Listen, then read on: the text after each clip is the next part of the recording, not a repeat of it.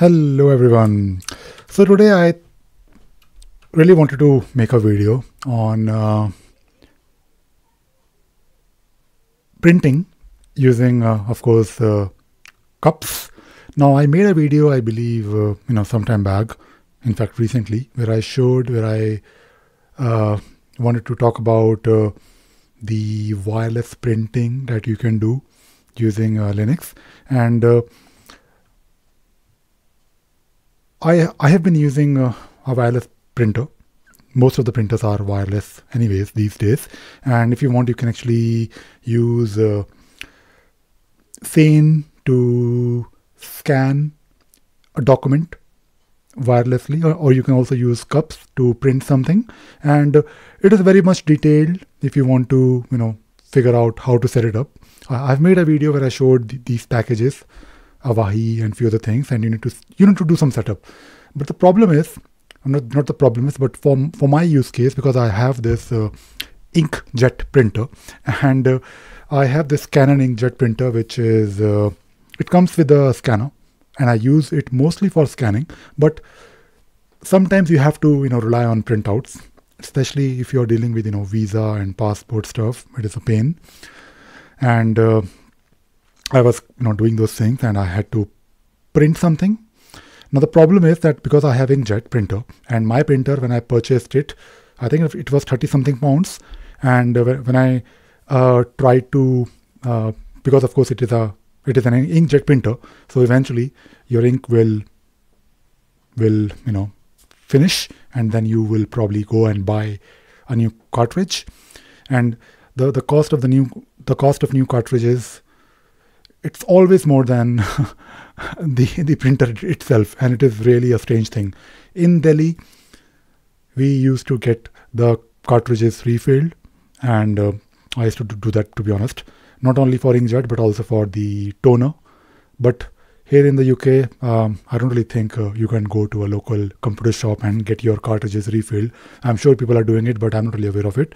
But you can actually purchase uh, ink or you know the the set of inks from Amazon and you can refill it yourself which I have shown you on this channel.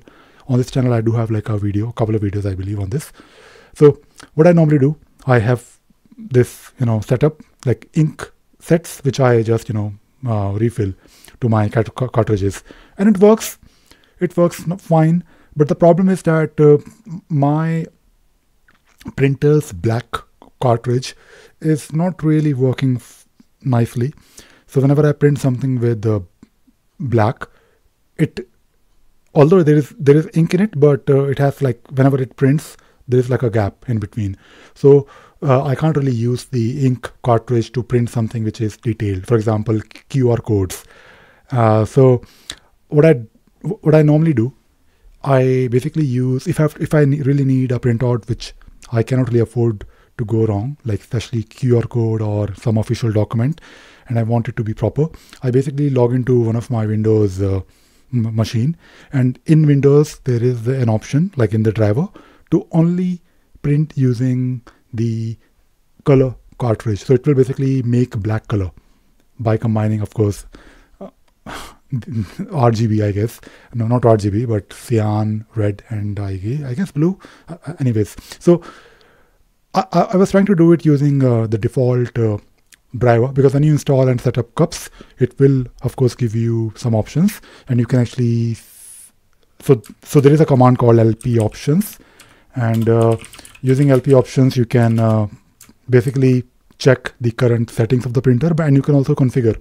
And there is some ppd file which you can configure if you want but also cups comes with a web interface where you can configure the driver if you want. But the, but the problem is that the default driver was not really sufficient. Uh, it, it, there was no option to change the ink set. It is called as ink set, I believe, or mark ink cartridge or ink set, I guess, something like that. But I was able to because I, I was I searched online and I couldn't really find anything.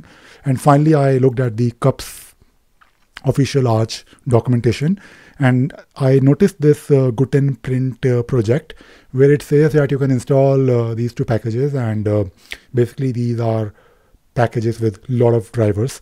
I thought, okay, usually I don't really try to install a lot of packages on my on my installation of Arch, but if I have to, I will. So I, I, I, I installed it and uh, I went to the cups uh, interface. I changed the driver and then I found one option to select only black cartridge, the ink set, I believe, and then it worked. So this is something that, uh, that, that I thought I'll probably share with you because you may want to do something similar, especially or even if you're not really doing anything.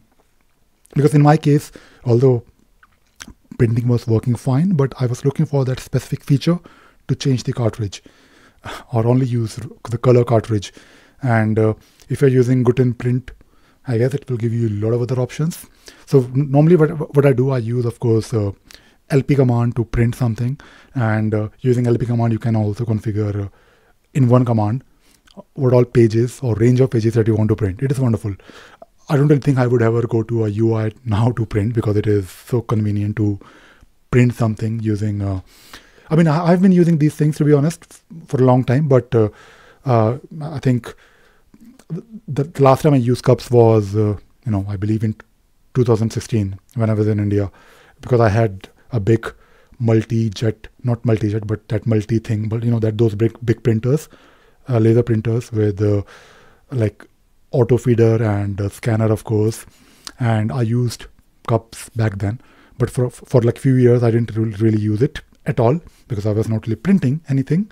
But now, you know, these days or uh, recently or in the last couple of years, I have like I have to deal with like some visa passport issues, especially if you go to uh, High Commission of India in London. You have to basically they don't take up digital copies. You have to basically carry those printouts and attest those printouts. I know bureau- bureaucracy, but anyways, I was able to do it and I was able to solve the problem. And by the way, you know, on this channel, I've, I've covered like a lot of things like how to print your own passport size pictures. So far, I, I never really had any issues because I, I did it myself because I have like good setup to take pictures like lights and cameras and I also showed you how to print something using GIMP, uh, you know, like a proper size picture. And because I have a printer, I also have photography, you know, you can actually buy it from any stationery shop, that photography page.